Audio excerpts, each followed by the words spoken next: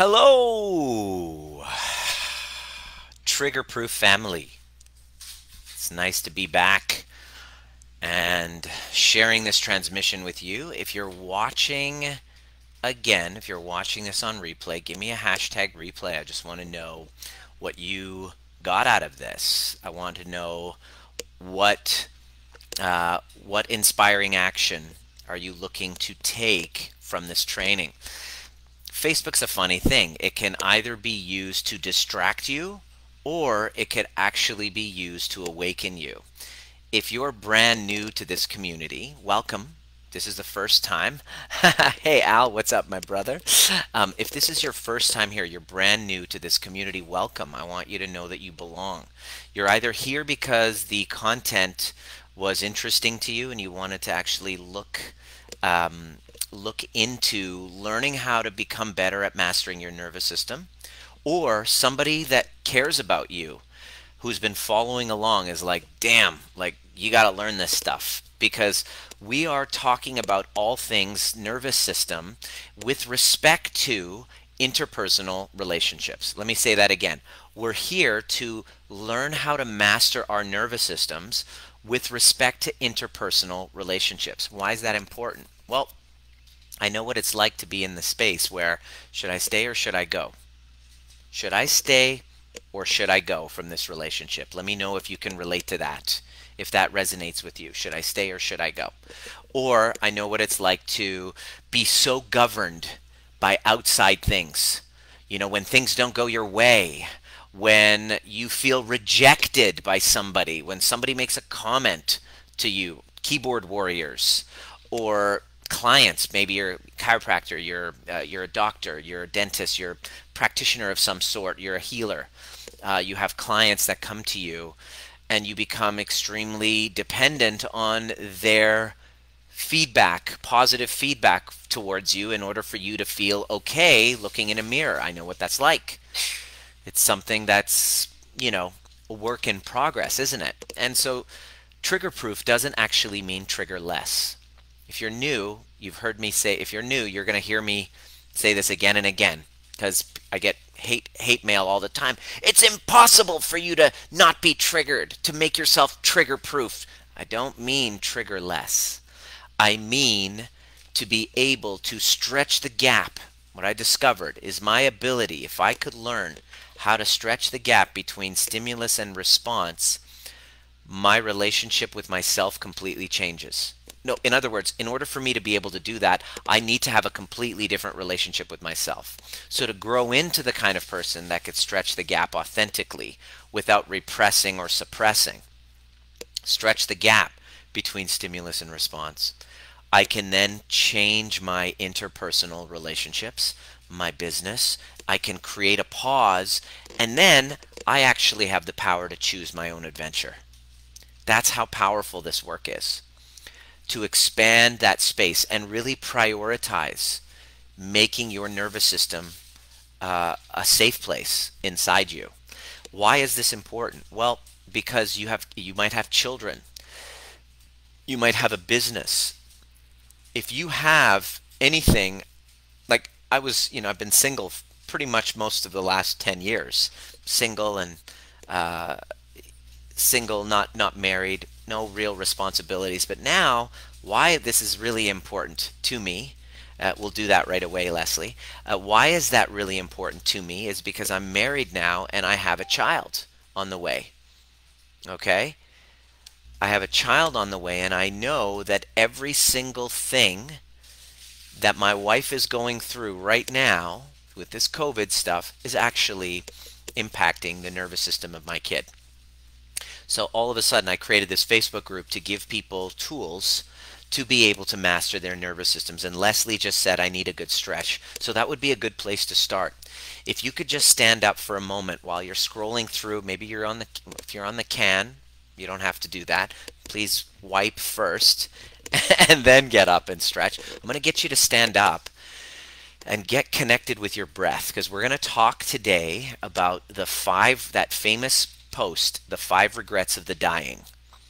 And I'm going to unpack each and every one of those regrets and show you why it's unfair to expect you to have anything else other than those regrets and how to change that so that on your deathbed you have a different experience. This was a big one for me. I had to I looked at those and I was like, "Whoa, I got to I got to unpack this." So I learned how to master it so that my deathbed experience is much different and I want to show you exactly what needs to happen in order for you to have a different one. So the first thing we're going to do is I'm just going to get you to stand and stretch.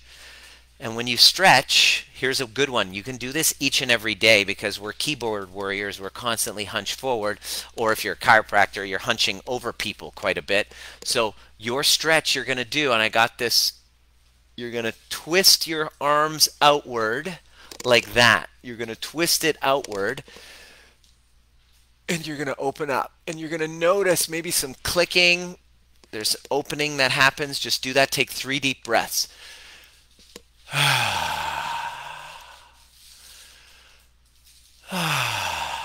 and on each one, surrender the exhale.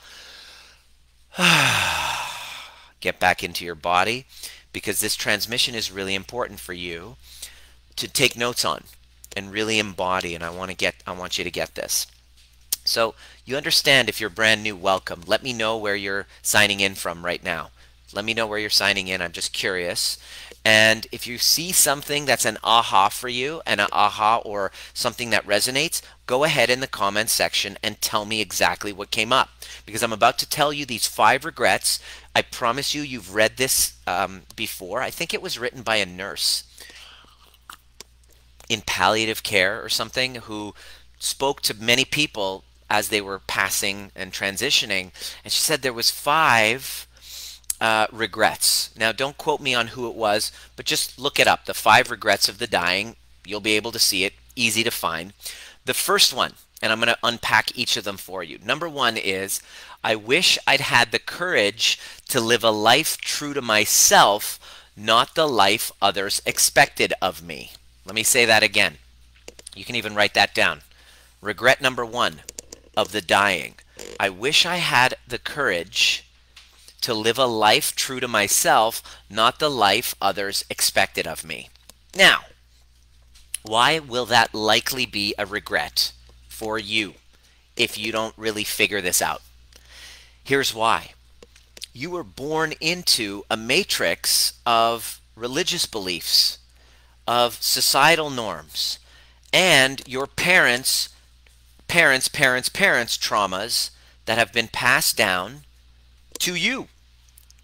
And in the very best way they knew how, especially if they were religious and they didn't want you to go to hell, oh no, they are going to do everything they can to protect you from that. So oftentimes, in their fears and their own inadequacies, will place certain expectations on you as that first prison. In other words, here's the expectation as a parent. If my kid doesn't reach that, then I'm a fucking failure as a parent, and I sure as shit don't want to be a failure as a parent. So I'm going to put up these expectations. Now, I already can feel them coming up for me. I'm about to have a baby. Now, I already can feel that oh my kid's going to be the healthiest, my kid's going to be the best dressed. My like I literally am already game planning traumatizing the shit out of them. and I can't control it. It's actually part of me because I want to be the best parent. Because if I'm not, then I can't love myself. So based on my own incomplete woundings, I am going to place certain expectations unconsciously on my child. That's what happened likely to you because it happened to me as well. And this isn't blaming my parents. This is stepping back on what I call the overview effect that's why I call it the overview method is this is what we do in our workshops. We actually get you to step back and realize where all of this is coming from. So the regret of I wish I'd had the courage to live a life true to myself, not the life others expected of me, you couldn't have done it any other way because as you were growing up, if you did what was expected, you would often receive a reward of love.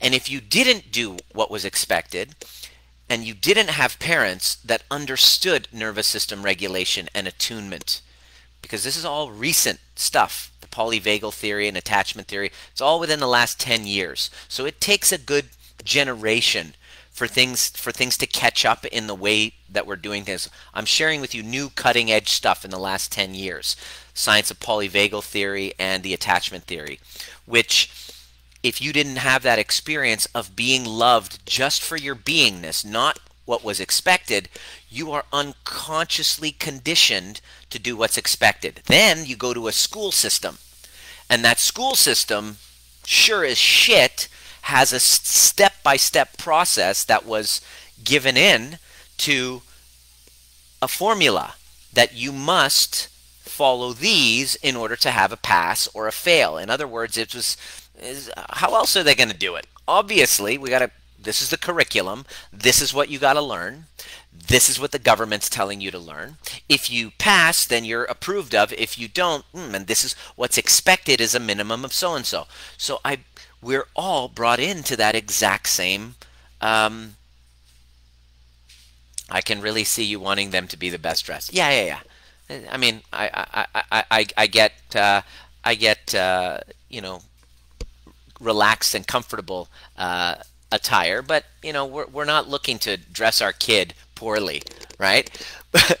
but the point is, is that these expectations are are unavoidable until we start to reach the, our 20s and 30s where we start to go wait a second i've been working so hard all my life to please a system a church good evil right wrong good, bad, uh, pass, fail. There's always these expectations that I can't love myself just for my beingness. I don't even know who I am. So naturally, you will get into relationships and please or have these conflicts because you haven't yet taken the time to understand these this matrices that you've been born into and learn the incredible amount of trauma and, and do the work of the incredible amount of trauma it takes to break free from that system. You don't think it's traumatic breaking free from all those systems of, of, of oppression and expectation? Try talking to a jehovah's witness who has has left their congregation.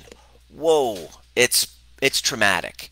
Um, societal, like it's it's it's pretty traumatic to break free from the systemic expectation. And so naturally, with that unresolved, with that fear of abandonment, because it's in our DNA, it's in our nervous system to actually fit in with society because going outside of the grain and being individualistic pretty much meant that you weren't going to survive. So it's in our nervous systems to try to fit in. It's what we naturally try to do. And then without resolving this, without doing the deep inner work it takes to break free, what happens is you then end up on your deathbed and it's like now the truth comes out. Now it's like, hey, you're about to die. So looking back, what's what's the point? And you're in that moment, you're like, wow, I wish I had the courage to break free from those spells, those imaginary spells. Why? Well, so I could live a life that was actually authentic to me. Because now I'm at the end of my life and I realize that I've just been living it for other people and waiting to get approval. Trying to be a good girl or a good boy and be nice and tick off the boxes and do what's appropriate. And now what you're realizing is now you have the fundamental reason why people have depression. Why there are so many breakdowns in relationships. Because as uh, as um, James Hollis says, the first half of life is a gigantic mistake. It's the unconscious revelation that you've been living under these systems just for the sake of approval, rather than learning the courage, the tools it takes to break free. And it takes courage. Took me a lot of courage. Whoa, geez. Wasn't speaking to my family for a while. It was traumatic, but I now live a life that is, you know, true to myself. And in order to do that, I had to go through some big time fractures with my family.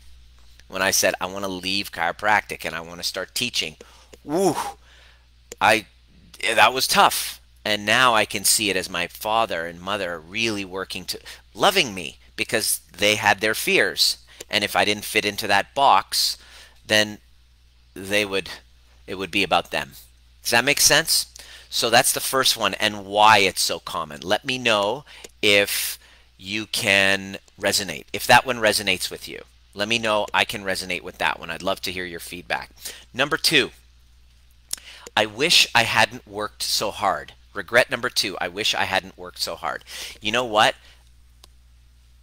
I realized I was codependent with my work. I realized I was living with a codependency with my work. I was working so hard. I didn't know how to take a break. I was seven days a week answering everyone who messaged me. I had to answer them right away. And I realized that working hard used to be a badge of honor. But what it is, is that it's actually, in my case, I don't know if you, you can resonate. In my case, it was a response to trauma. In other words, I was working hard not because I was inspired to be working. I was working hard because it was a trauma response, because I was living in scarcity trauma, in the soup of not enoughness. That one day everything was all going to be taken away from me. Everything was going to be taken away from me. It's all going to come crashing down. I'm not safe. I need to work hard to produce in order to survive because I'm going to die because I live, I was working hard, not because I was inspired and I was like, oh my gosh, this is a meaningful project. No, that's different. Your nervous system works differently when you're doing that. When you're working hard because you don't feel safe and you're going to die and starve is going on in your body, what'll happen is you then miss out on relationships. You then miss out on meaning and then you get to the end of your life, and then you say, hey, you know, you talk to the nurse or whoever, the palliative care person, hey, tell me what's going on. Go, I wish, wish I didn't work so hard. And so this has been something that I've been working on extensively, and I can honestly say that now I'm working less than I ever have. And the work is most meaningful to me and, and, and I get to show up not from a, I used to show up an anxious mess trying to fix everybody working hard so that I could feel safe now I show up full with a heart open saying how can I contribute? There's a huge difference. And why? It's because I worked on my scarcity traumas. And I'm working on excuse me because it's a work in progress. The work doesn't just stop. It's an ongoing living thing and it's lifelong. I've just learned the tools to be able to take what's in front of me and alchemize it into inspiration so that I'm not working 24 7. Yeah, it's true. There's times where I kind of spin into work mode where when I'm lucky to have a wife next to me going, all right, put the phone away. You don't need to answer your clients right away. You don't need to answer them now. You don't need, to, they're not a clients. You don't need to give them like all of the guidance. Point them to your video. So she's been helping me a lot in that. And my nervous system feels totally different now. I feel safe in my body now. And I'm working not from a place of desperation. I'm working actually from a place of inspiration. And I can contribute more. I, I don't know, since this group started, if you scroll back, I probably there's easily at least 50 hours of training and content for you. You could literally have a whole library of, of, of guidance for helping you get back and centered into your body. Does that make sense? So that was um, number two, was I wish I hadn't worked so hard. Well, the truth of the matter is you will work hard when you're living with scarcity trauma and not enoughness. So you can wish that you stop, but you can't stop it because your body's naturally doing it because of those old woundings. Your answer is to actually, if you want to stop doing that, you got to heal the parts of you that don't feel like they're enough. Otherwise, you then create a codependent relationship with your clients, your work, which is where I was. It's codependent.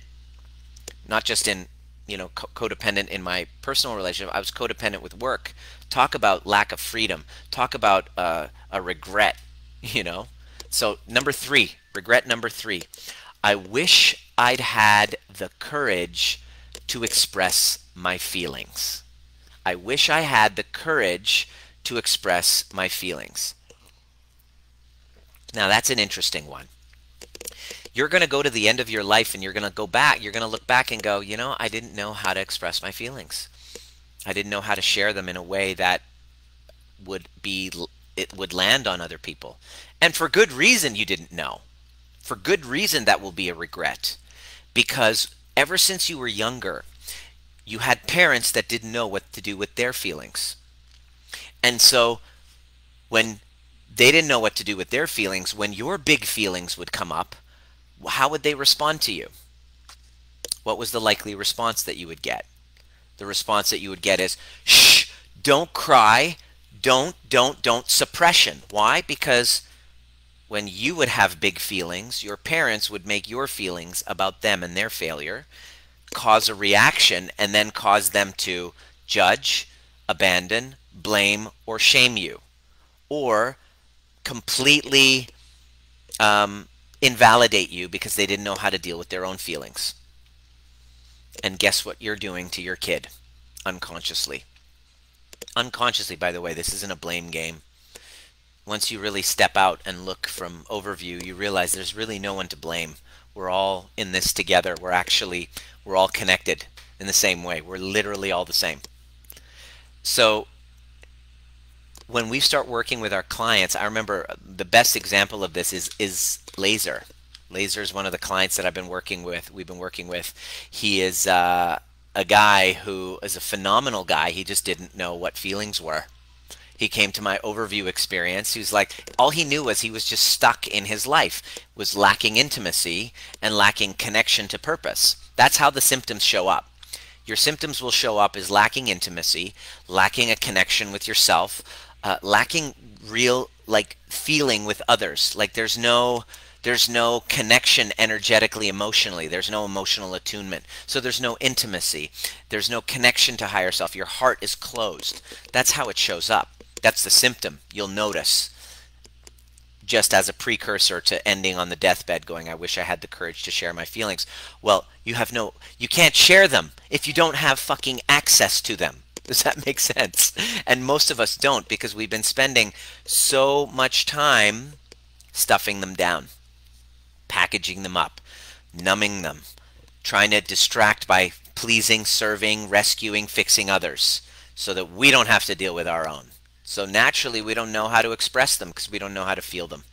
And for you to for you to think that it's going to be any different for you other other unless you actually do the deep inner work, the shadow work of of connecting to your feelings, which is a huge leap for most people. People come to our trainings. There's this one uh, one woman who came to our training uh, just just this weekend, uh, Sunday.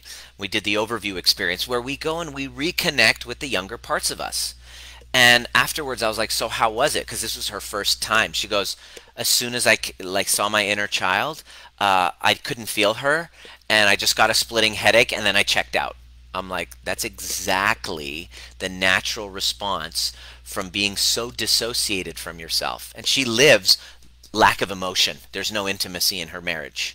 Okay? There's none. She can't feel him. How, how the hell can she feel him? She can't even feel herself. She goes in, and here's what the main obstacle is for you the main obstacle for you to share your feelings is your inability to feel them. And the main obstacle of your inability to feel them comes from the fact that they were so painful when you were younger that it was safer for you to just leave your body. It just felt safer for you to leave your body than to actually go in and feel them. So, in those cases, to prevent that, it's wise for you to find a guide that's going to create a safe container for you to actually go and sink back and release back into those emotions and hold space for you while you do them without making you wrong or blaming you and then teaching you how to return back to you. How to turn and then did you just experience me holding space for you? Wow great let's teach you how to do that for yourself. That's the obstacle from you sharing your feelings. If you can't turn around and just be able to hold space for yourself while you're having them, then there's no way that you're going to be able to do that for another person, or there's no way you're going to be able to share your feelings vulnerably because you haven't learned how to hold space for them. How are you supposed to share your have the courage to share your feelings if you don't know how to hold space for them? So of course that's going to be one of the regrets of the dying. Nobody teaches us that. We learn from our parents what to do with our feelings. Do parents share feelings? Hey, Nima, I've never heard this from my parents. Nima, you've gone through some major struggle. Oh, during my divorce, excuse me. Nima, I understand you're getting a divorce and you must be feeling so hurt and scared and uncertain I'm going to admit, I just want you to know that I'll be there for you. Uh, even though it brings up a deep feelings of guilt and shame because maybe we weren't the greatest role models and but you know that's painful but that's on me that's my responsibility i'm there for you do you think that my parents did that when i told them 10 years ago i was getting a divorce Do you actually think that that's that's what they said? No. Guess what they said? They said, "We told you so." Because they didn't know what to do with their feelings. They got triggered by it, and instead of being able to hold space for me, they turned around and blamed me. We told you so. Thanks, mom and dad. I appreciate that. So, these are people that don't understand what to do with their feelings except to react to them. So, one of the regrets of the dying, number three, is I wish I had the courage to express my feelings. Well, you first have to have the courage to feel them. Nobody really taught us that. We did the opposite. You must learn to master that. If you don't, you will have that regret on your deathbed. Now, it's going to take courage to feel them. It's going to take courage to express them, but courage is not just magically poof produced out of thin air. Courage is produced when you step in to doing things when you're scared. This is what stops most people from jumping in and actually doing the work. I'm scared. And then you come up with all these excuses, but it's just, I'm scared. And then, unfortunately, that fear then turns into a regret at the end of your life. I wish I'd had the courage to express my feelings. Number four, I wish I had the courage, no, not the courage, I wish I had stayed in touch with my friends. I wish I had stayed in touch with my friends. Well, I had to look at that. When I was in my most anxious state and my nervous system was in sympathetic mode or dorsal vagal shutdown, so there's three modes. The ventral vagal, the top of the ladder where we feel connection, we feel presence, we feel laughter, play. That's our connecting uh, social engagement system is activated. When I get into sympathetic and dorsal, which are shutdown is the dorsal and sympathetic is the fight or flight, the dorsal vagal is the freeze response. The last thing I want to do is to connect with people. Let me say that again. When my nervous system is in sympathetic fight or flight or in dorsal, the last thing that I want to do is to connect with people. I want to avoid people at all costs. And so one month, I remember I went three months and I didn't even reach out to my brother when I was in my worst dorsal phase. So when you fast forward and you get to the end of your life, you look back and you go, you know, I wish I had stayed in touch with my friends more. Well, this bonding and connecting that we do naturally when our nervous system is in ventral, where we want to engage socially, it's shut down. You're not going to stay in touch with your friends. It's all nervous system dependent. And when that's dysregulated, you're going to end up at the end of your life looking back going, I wish I stayed more in touch with my friends. It's true. I feel that already, and I'm not dead yet. And number five, I wish that I would have let myself be happier. Number five, I wish that I would have let myself be happier. It's kind of funny, right? You're at the end of your life. Imagine you're on your deathbed, and then you look back and you're like, fuck, all that time I spent in misery, I could have actually spent feeling more connected. And it's a little bit, um, you know, hindsight is 2020. You can easily say that. You can say that about last year, right? I wish I would have been happier because I'm still here. All that trauma and uncertainty that I was, you know, worried about all the time. I wish I would have just enjoyed it. I remember at a time there was a, a wedding I went to uh, over like you know overseas. It was a destination wedding. The whole time I was living in anxiety. I look back and they were like, "Oh, I see pictures of the wedding," and I'm like, I wasn't really enjoying it. I was anxious the whole time. Is it wise for me to look back and go, "I wish I would have let myself be happier"? The problem is, is that you are unable to experience any connection, any fulfillment in the now if your nervous system is in sympathetic or dorsal. You can't experience it. You can't fake it. The only way to do that is to really expand your ventral experience, is to learn the tools of nervous system regulation so that you can identify and self assess oh, I'm in dorsal. Oh, I'm in sympathetic right now. Ah, I'm in ventral. We can expand on that. I've gotten myself to the point now where I'm like, oh, I'm in ventral. I just get myself into vent. I, I, I get into kind of like a meditative state. And in that state, I just game plan my day, my week, my life. Because I now know I've been able to self assess and go, yeah, I'm in ventral right now.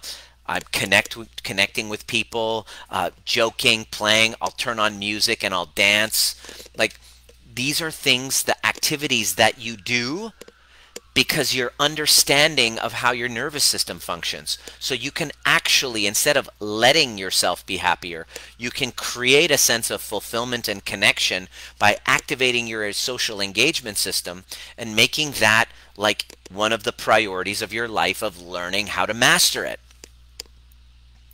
So if you don't, you're going to end up on your deathbed looking back going, fuck, I wish I let myself be happier.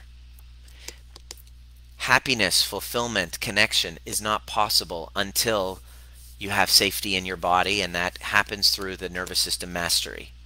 This is something that is very important to me. I learned that that has to be the priority in, in my life. Otherwise, nothing else works. My relationship doesn't work. Me as a father is not going to be effective. Me as a mentor, not going to happen. Um, me as a son, me as a brother, me as an uncle. It all depends on my nervous system. So the five regrets of the dying. I wish I had the courage to live a life true to myself, not the life others expected of me. I hope you understand why now you will live as others expect of you, unless you jump in and do like the deep inner work to break yourself from the matrix. Number two, I wish I hadn't worked so hard.